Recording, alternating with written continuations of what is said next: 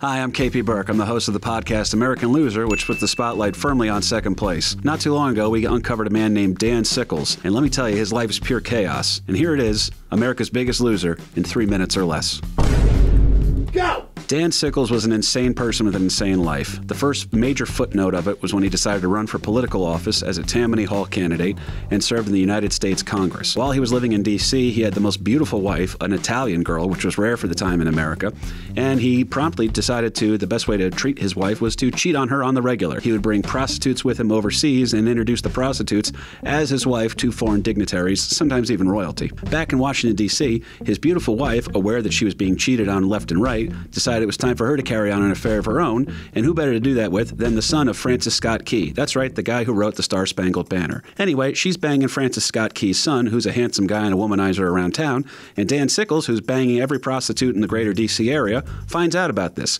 And he decides it would be hypocritical of him to be jealous of his wife for having an extramarital affair when he's done so for the last decade. Except for the part where he doesn't, and he just shoots the guy dead in the streets across the street. Two minutes. Literally within view of the White House. So what happens? It's the first time anybody has ever successfully used the plea of temporary insanity.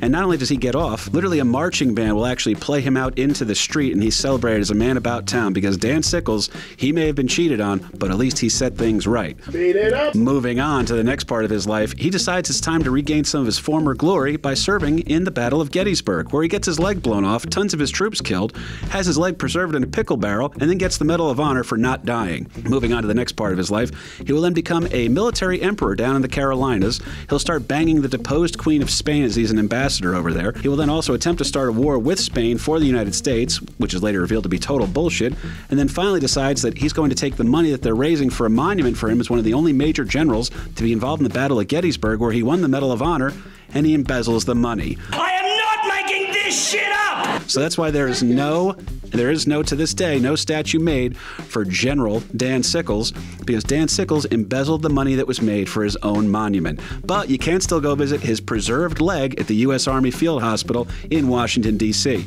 And next time you're walking out in front of Washington, D.C., in view of the president's office at the Oval Office, you can sit there and say, hey, didn't that guy Dan Sickles kill some guy who was fucking his wife around here?